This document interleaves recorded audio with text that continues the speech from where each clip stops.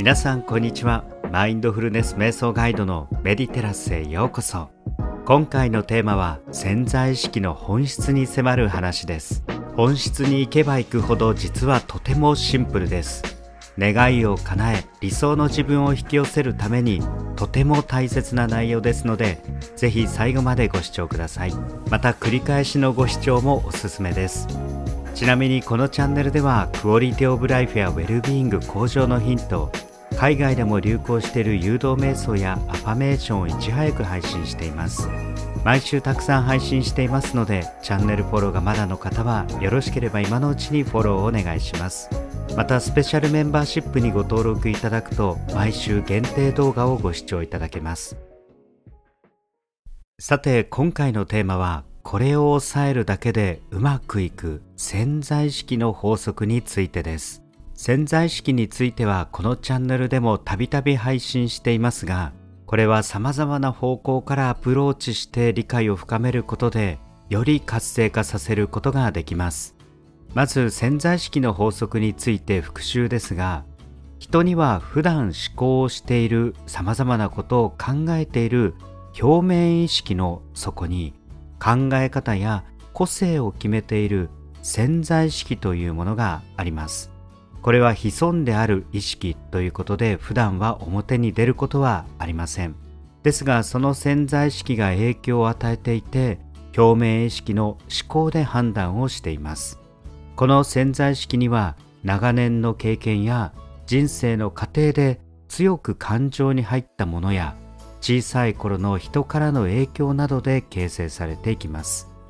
また潜在意識は人の意識と引き寄せ合うという特徴もあるため自分の潜在意識に人の想念や社会の風潮やカルチャーの影響まで受けています。そしてこの潜在意識が元になって思考や感情を生み出していきます。普段私たちが思考しているのは表面意識になりますけれどもその元になる反応する主体のようなものです。そのためこの潜在意識を書き換えていくことが表面意識を変え思考を変え行動や言葉を変え毎日を過ごす感情も変えていきます。この潜在意識と表面意識を別の表現で表すとすると本音と建前とも言えるかもしれません。私たちは普段過ごす中でいろんな顔を使い分けて生活をしていることがあります。家庭での自分仕事場での自分趣味の世界やネットの世界での自分。実はいろんな自分がいます。どれも自分といえば自分なんですがその中で本音でいられる自分というものがあります。それはとても安心してリラックスしていて緊張がない時の自分ではないでしょうか。この建前の自分と本音の自分の違いがこれが表面意識と潜在意識の違いにあたります。つまり潜在意識というのは本音の自分であり結局はその自分が望む人生を歩んでいるということです。潜在意識は本音の自分ありのままの自分でありまた様々な表面意識の元になる反応する主体でもありますのでその部分を変えることで人生がみるみる好転していきます。そこで潜在意識を思う方向に変えていくためのたった一つのポイントがあるとすればそれが今回のテーマ「ないをあるに変える」ということです。このテーマは非常に重要です。ぜひ腑に落ちるまで繰り返しご視聴ください。また今後も様々な形で補足の解説をさせていただきます。この感覚一度掴んでいくと必ず好転していきます。今日はなぜこのないをあるに変えることが大事なのか、そして一体どういうことなのか、ポイントを解説していきたいと思います。まずはじめに潜在意識について考えてみますと、これは私たちの意識ですので、何を意識しているのかということがとても重要になってきます。例えばよく使われる話として、コップの中に水が半分入っていたとします。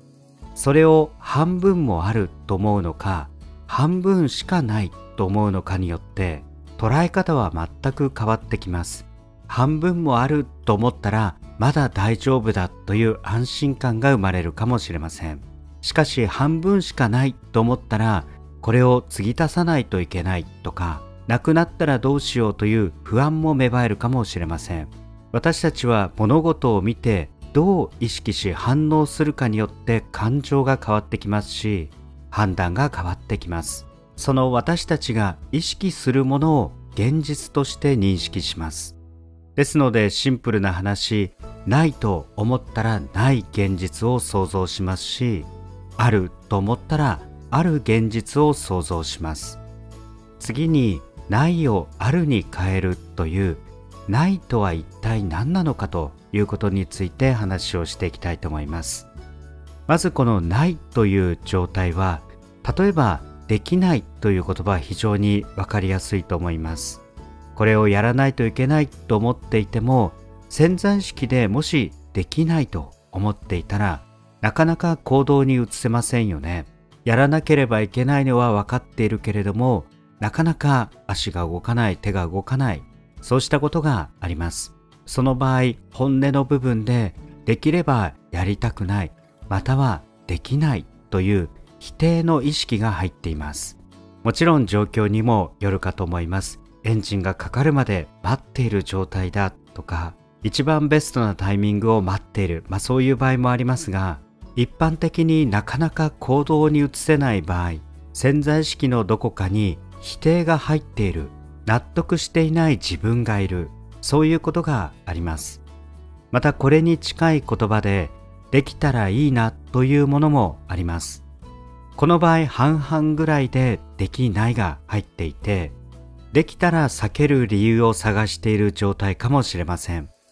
反対に何かの行動を起こす時にはできるまたはやりたいという積極的な気持ちを持つとすぐに行動に移すことができます。これまでもすぐに何かをやれる場合にはそうした積極的な気持ちを持っている場合が多かったのではないでしょうか。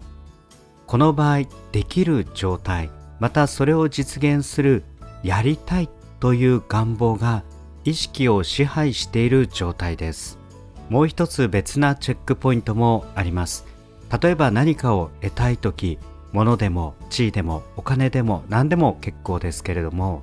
ないという状態から欲しいというモチベーションに変える時実は気をつけませんとないを強く意識してしまうことがあります。あまりに強く欲しい欲しいと執着してしまうと今現状ない自分を強く意識してすり込んでしまう形になってないから欲しいないから欲しいというこのないを強く意識してしまいます。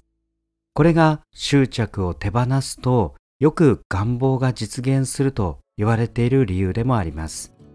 つまりないやできないという感情は不足している感情を潜在意識に蓄積してしまうということです。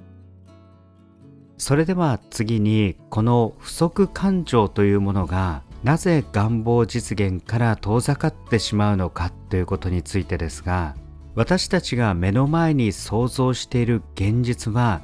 認識や意識によるものだからです。先ほども申し上げた通り私たちの目の前にある現実をどのように認識するかで全く考えが変わってきますよね。例えばこういうこともあります。自分の周りにはいい人がとても多いなと思うとみんないい人に見えてくるということはありませんか？また今日は気分が良くて人生素晴らしいなと思うと周りが輝いて見えることありませんか？反対に世の中悪い人ばっかりだと思ってしまうとみんなが悪い人で自分に嫌なことをしてくる人に見えたりもします。また今日もめんどくさいことばっかりだなと思ってしまうと気分がめいって嫌な一日を過ごすことにもなりますよね。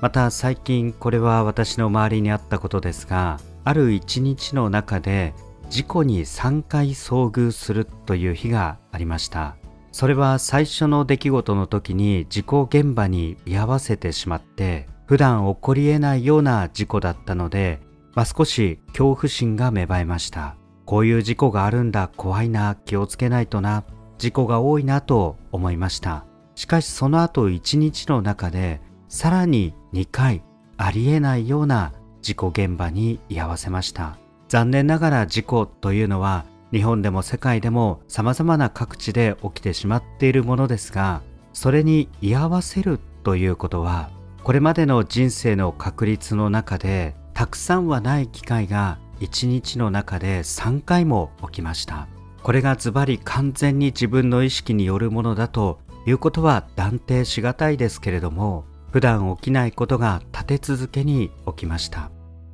実は私たちは認識するものを引き寄せるという法則があります。そのもとに生きています。先ほどの私のように恐怖を強く認識すると恐怖を引き寄せるという法則も働いています。これが引き寄せの法則ですしまた量子力学でも言われていることです。実際にこの法則が働いているということは多くの方の実例として確認しています。例えば本当は理想を持っている人がいたとしても自分はダメだダメだできないできないもう無理だと思ってきた人は本当に無理な状況がずっと続いていて反対にできるできると高い望みや突拍子もないことでも可能性があるんじゃないかあるあると思っていると突然チャンスがやってくる人がいます。本当にありえないような驚くようなことも起きたりしてきます。これらは本当にたくさんの人が体験しています。あるできるまた可能性があると思っているとそのような現実が目の前に現れます。つまり私たちは認識や意識によって様々なものを引き寄せているのでないと思うとない。ゼロの状況が目の前に現れてしまうということです。なのでないというものが不足感情を生み出してその不足する現実が目の前に展開し続けるということです。さてこれまで潜在意識の法則やないまたはあるという意識がどのような現実を作り出すのかということをお伝えしてきました。それではここからないをあるに変えるためにはどのようにすればよいのか3つの実践ポイントをシェアしたいと思います。早速1つ目ですがこれは何といっても日々の思考の習慣です。毎日私たちは6万回考えて判断をしていると言われています。その浮かんでくる様々な思考の中で断るごとに自分のこの考えはないという意識によっているのかそれともあるという意識なのかこれを判断することが大事です。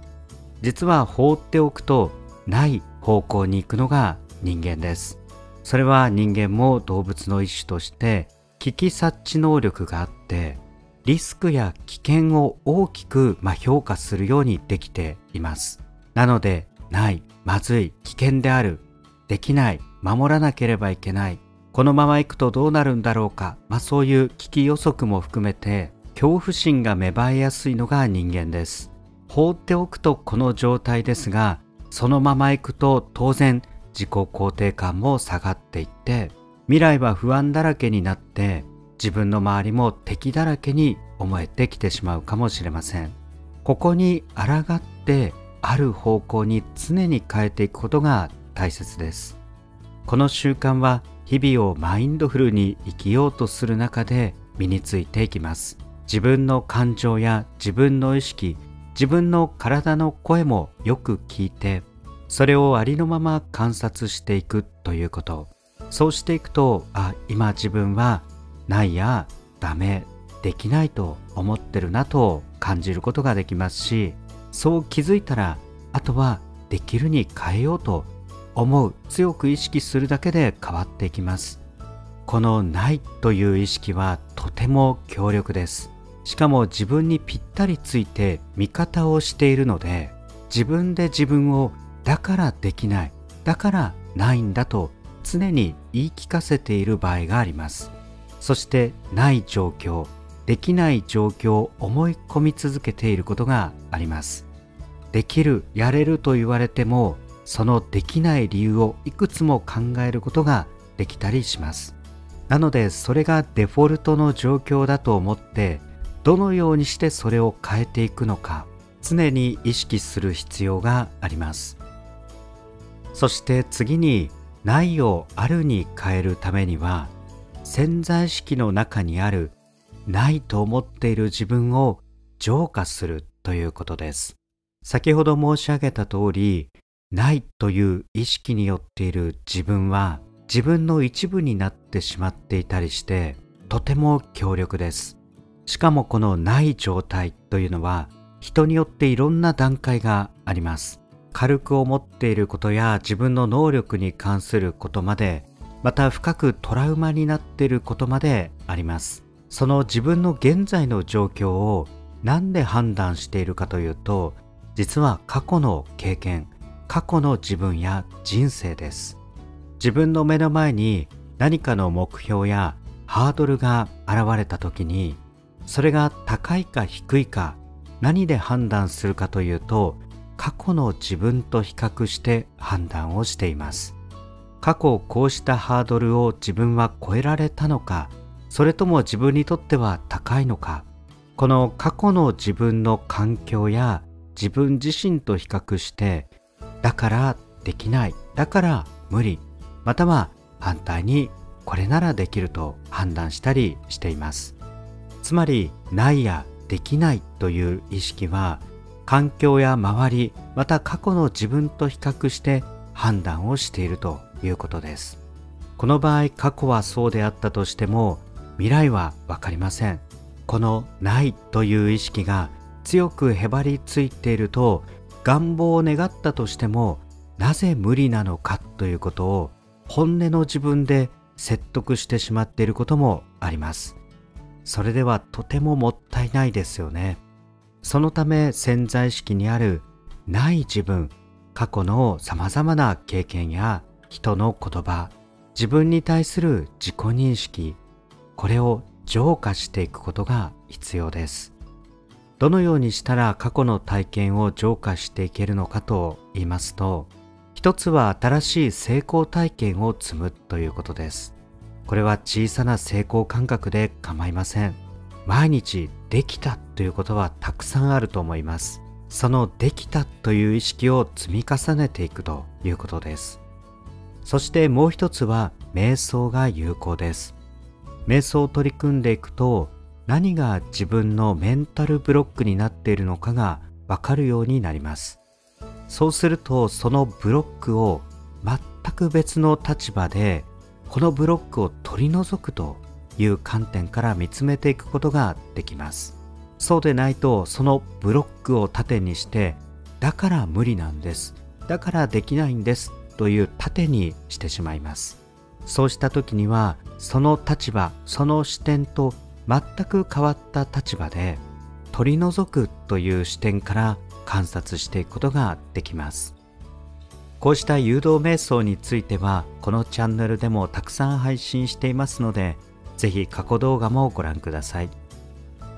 そしてもう一つのないをあるに変えるための方法についてですが